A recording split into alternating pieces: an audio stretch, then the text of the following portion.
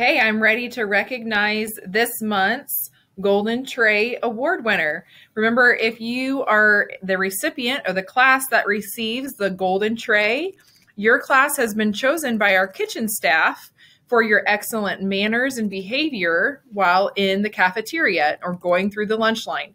So these ladies recognize when you say please and thank you they recognize when you're talking loud and clear and looking at them when you go through the line, you're looking at their eyes and speaking to them clearly. You're keeping your area nice and tidy while you're at the lunch tables and you're using a, a quiet voice to talk to your friends while you're in the cafeteria. This month's winner goes to first grade Mrs. Brown.